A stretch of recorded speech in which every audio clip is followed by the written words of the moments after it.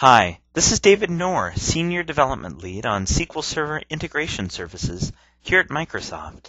Welcome to this video on tuning your SSIS package data flow in the enterprise. This video is the second part of a four-part series titled SSIS, Designing and Tuning for Performance. In part one of the series, Denny took a look at how to best measure and understand the performance of SSIS packages. In this installment, we'll build on that and look at how to improve the performance of your SSIS package data flow. We'll start by identifying the common themes in every data flow and how to choose which parts of your data flow you should work on first when trying to improve performance. Once you understand where performance problems are, there's a lot you can do in your data flow to make things run faster and more efficiently. We'll look at a series of specific tips you can apply when designing, developing, and even executing your data flow. Let's get started.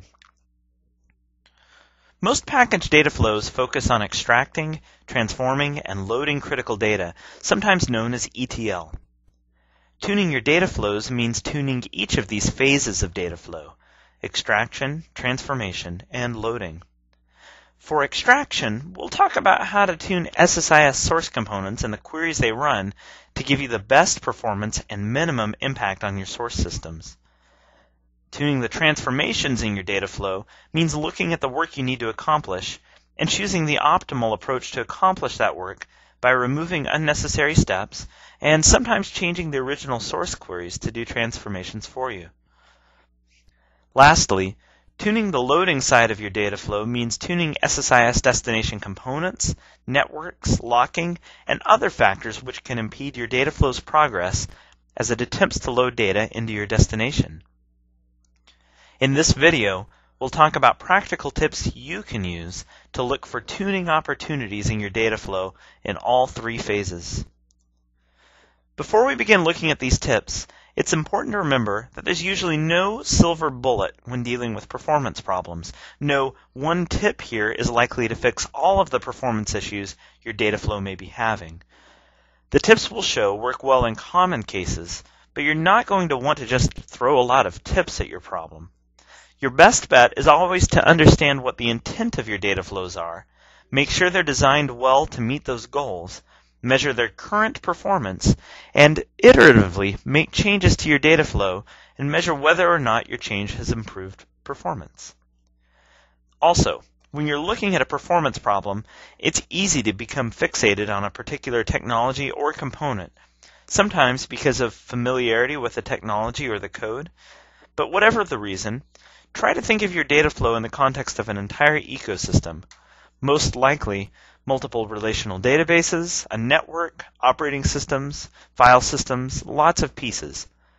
The more you know about this whole ecosystem, the more complete of a picture you'll have as to the real performance challenges any one piece is facing, and you'll be able to make more effective, less risky changes.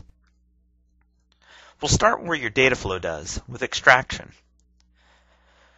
When using SQL Server or any other database with a bulk interface as your source, you should experiment with increasing the packet size. Normally, the SQL Server default of 4096 works well, but since your extraction is going to be moving large amounts of data, bumping this up should help. For this to take effect, you'll want to ask your network admin to enable jumbo frames on your network as well. You'll want to test the effect of this on your package, though. If you're using the same connection manager for bulk operations, like an OLEDB source, and for single row operations, like an OLEDB command, you might consider creating a second connection manager for the OLEDB command operations and use a lower packet size there. As noted, if your ETL is running on Windows 2008 and you're on a multi-core machine with multiple NICs, you can achieve a bit better network performance by affinitizing network cards to individual cores. Look for a blog post entitled Scaling Network Traffic with Windows on the MSDN site for more information. One of the easiest things to look for in tuning extraction is to tune the queries you're using. It's tempting to sometimes just select the table you want to extract from and allow all of the columns to be retrieved, but you'll get far better results if you select only the columns you really need. Not only will this result in less network traffic and memory used, but the database server may be able to do much less I.O. to satisfy your query. As shown here, for SQL Server, you can also use a hint to indicate that no shared lock should be issued while doing the select, so your query will read potentially uncommitted or dirty data. Reserve this for cases when you absolutely must have the best performance, and you're sure that reading dirty data will always be okay for your ETL job. Lookups can be thought of as extraction or transformation, but either way, you should use some of the same ideas as we showed on the previous slide. Here it's even more critical to select just the columns you need, not only for network optimization, but for optimization of your in-memory cache as well. If you're using SQL Server 2008, one of the best features for performance is the addition of the new Shared Lookup Cache. Sharing a lookup cache allows you to fetch your reference data once and then reuse it across multiple lookup operations in your package, or even across packages, by saving the cache to a file.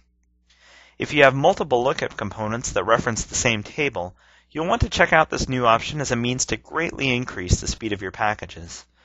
Using it can be pretty simple. Create a cache connection manager in your package, populate the cache using the new cache transform, and then change your lookups to refer to this cache connection for their reference data. Let's move on to the second phase of ETL, transformation. In transformation, you're working with data already loaded into the data flow and attempting to get it into the right shape before it's loaded. In SSIS, every transformation appears as an object you can drag onto your design, but not all transformations are made equal.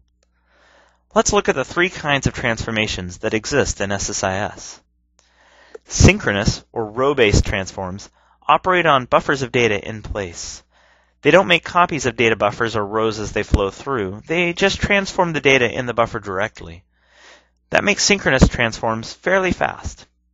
Examples of synchronous transforms include data conversion, derived column, and lookup. Partially blocking, asynchronous transforms are different. As data comes into these transforms, the transform needs to hold on to the data in order to do its work.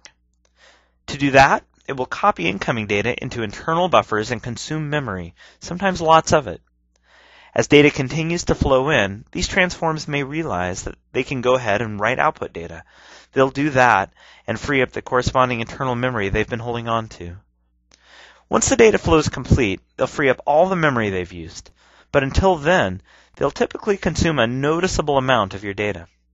Examples of these kinds of transforms include merge, merge join, and union all. When you have these transforms in your data flow, look for ways to optimize. Are there redundant copies of these? Are there merge joins or unions you could push up to your source system? I've seen packages in the past where doing, instead of doing a join in a source query, they've fetched all the data from two tables using OLEDB sources, and then used a merge join in the package to do the join, even though they could have just written a SQL join at the source, and it would have been a lot faster because of the database's ability to optimize that query. Look for these opportunities to consolidate and reduce the number of asynchronous transforms. In SQL Server 2008, we've done a lot in the Dataflow Task Scheduler to make complex data flows more performant and make better use of available CPUs. If you started using SSIS in SQL Server 2005, you may have introduced a union all transform into your data flow to artificially split up and parallelize execution trees. You shouldn't need to do this any longer. Because of the improvements we've made in SQL Server 2008, that's no longer necessary or recommended. Remove these artificial union all components, and you should experience better performance. The third group, blocking asynchronous transforms, are like extreme versions of the previous group. They have to hold on to all of the input data before they can write any output data. Using these transforms in data flows with large batches of data can often slow down your data flow significantly. If you use these in large data flows, make sure you're not using these redundantly. If you have two aggregates or two sorts on the same data in the same flow, rework your package to try to get down to one. With the basics covered, let's look at a few other specific tips.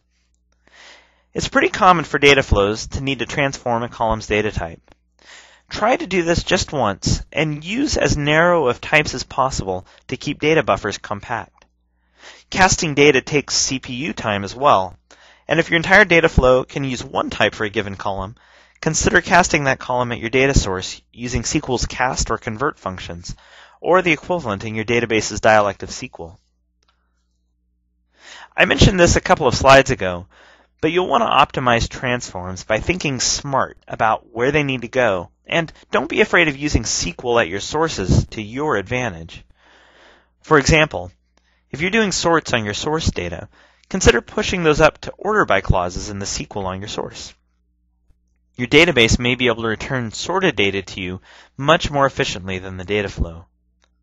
Save the sort component here for cases where you need to sort data that's been merged together from multiple sources.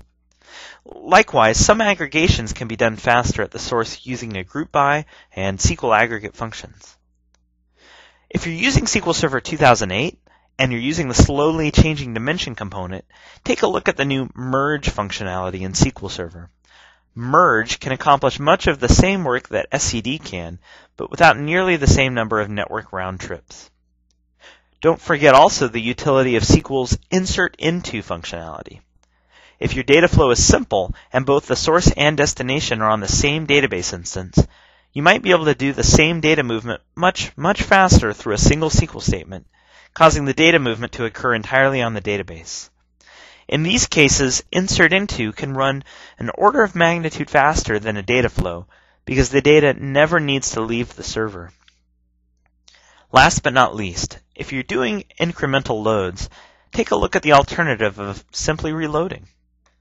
Some systems I've seen spend a lot of time doing delta detection to avoid reloading data, but the I.O. and CPU used to accomplish this ends up making the job ultimately slower. Let's move on to the loading phase. When loading into SQL Server, you have two performant options. The first option is a SQL Server destination component. This component uses shared memory between the data flow and the database engine to quickly load data, but only works if your data flow always runs on the same machine as SQL Server itself.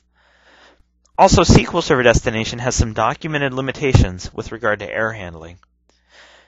Your other option for quick loading into SQL Server is the OLEDB destination, which often runs nearly as fast as the SQL destination. For all of these, using a commit size of zero will result in the fastest load. It's a pretty common practice to drop indexes in your destination system as well when doing large loads, but you should use some guidelines to inform you as to when to do it.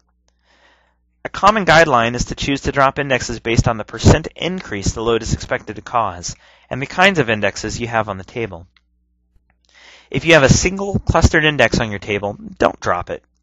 Your table data is ordered by this key, and the time it will take to drop, insert, and rebuild will virtually never be less than just doing the load with the clustered index in place. If you have a single non-clustered index on your table, consider dropping it if your load represents around a 100% increase in data size. This is a rule of thumb, not an exact value, but roughly speaking, it probably won't be worth dropping and rebuilding the index if you're not going to double the size of the table. If you have multiple indexes on your table, it's quite a bit harder to create a rule of thumb. I tend to think in the 10% increase range. For example, load smaller than 10% of the current volume could probably leave indexes in place. But your best bet here is to experiment and measure. If you're loading into a table that has other activity going on it, you'll need to devise a strategy. Bulk loads will likely lock down most, if not all, of the destination table, so you'll want to make sure that's okay, or use partitioning. If you need to load against an operational database, you may be able to set up a partition to load into so that current operational data can stay active.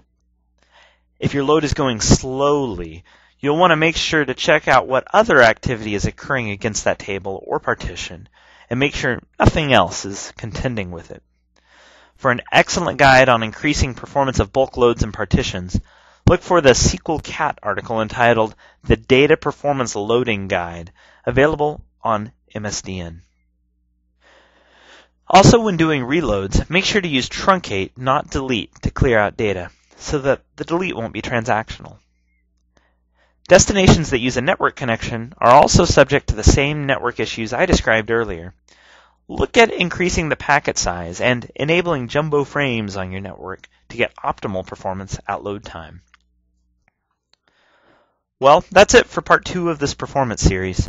Special thanks to Thomas for all of his helpful information that formed the base for this video series, and to Carla and Douglas for all of their help in creating this series.